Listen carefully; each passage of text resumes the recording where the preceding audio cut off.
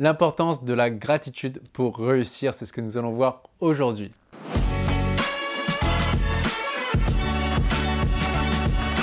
Bonjour, ici Pierre, fondateur de l'Académie de l'Haute Performance.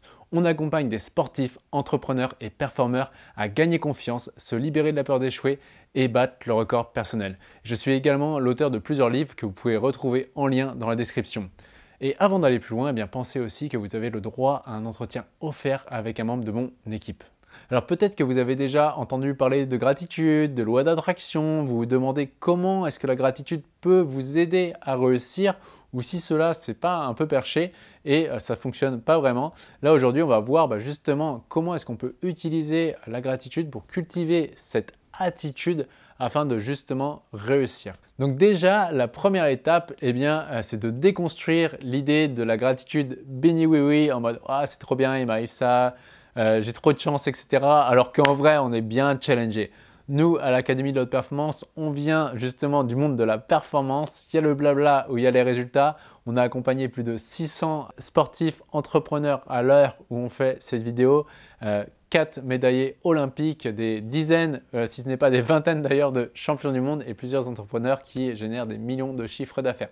Donc forcément, si on arrive en mode gratitude, en mode béni oui oui, eh bien ça ne fonctionne pas. Donc la gratitude, ce n'est pas mettre la tête dans le, sable et se dire ok, bah, il m'est arrivé ça, c'est super bien, et ne pas tirer de leçon et ne pas avancer. Non, non, non, c'est pas ça. Moi, je pense par exemple à une athlète qui est un sportif de haut niveau, qui a été médaillée olympique euh, en snowboard à Pékin, eh bien, euh, avec qui on a travaillé. Lorsqu'elle a échoué à 10 euh, mètres de la ligne d'arrivée en 2018, je peux vous dire qu'on ne pouvait pas se dire waouh, c'est trop bien qu'il me soit arrivé ça, etc. Juste comme ça.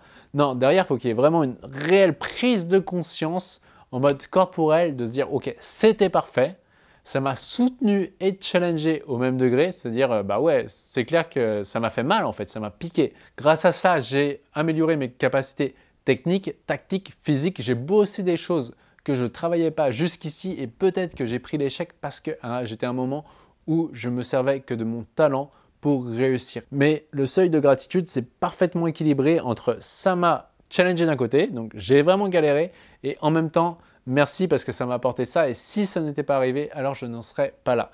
Et là, il y a ce moment en effet de reconnaissance, de, euh, de perfection en mode bah, c'était parfait et j'ai bien fait de passer par là. Comme disait Steve Jobs, on ne peut pas connecter les points en avance, mais on peut seulement espérer que plus tard on les connectera. Et lorsque justement le cerveau connecte cause et effet, paf, on, on effondre la charge émotionnelle qui était ici et on peut passer à une étape supérieure dans la gratitude et en même temps dans la certitude. La gratitude et la certitude ont le même équilibre en termes de soutien de challenge au même degré pour pouvoir avancer. Donc déjà, vous, pour intégrer cet état d'être-là et ce niveau de gratitude, bah, prenez simplement toutes les fois où vous avez échoué dans la vie, perçu échouer dans votre vie, notez tous les bénéfices qu'il y a eu et tous les inconvénients si vous étiez perçu réussir également dans votre vie. Pourquoi je mets des guillemets à chaque fois? Puisque la réussite et l'échec ne sont que des perceptions. Donc pour intégrer ça, vous avez simplement à prendre les échecs perçus et noter tous les bénéfices qu'il y a eu pour vous.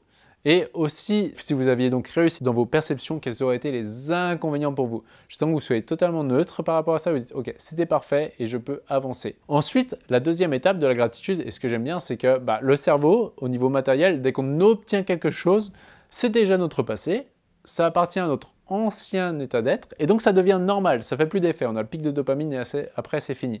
Et donc il va se passer quoi? C'est que vu qu'on va euh, adopter comme normal ce que l'on a obtenu, on va plus ressentir de désir envers ce qu'on a déjà. Et le secret du euh, bonheur et du bien-être, c'est de désirer ce que l'on a déjà.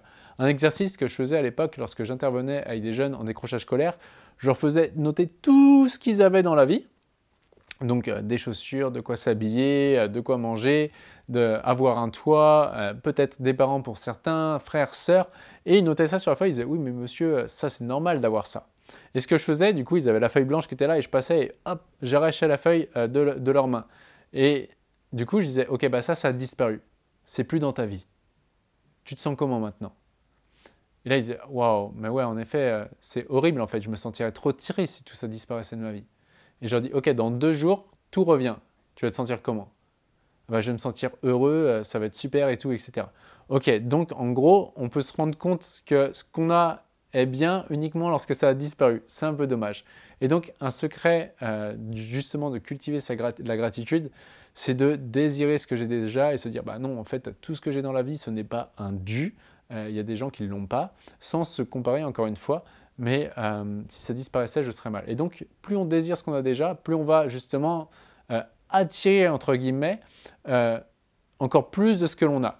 Comment ça? Quand je dis attirer, pourquoi je mets des, guillemets? C'est que, en fait, tout simplement, lorsqu'on va ressentir du bien-être pour ce que l'on a déjà, eh bien, notre corps va ressentir des émotions de bien-être par rapport à ça.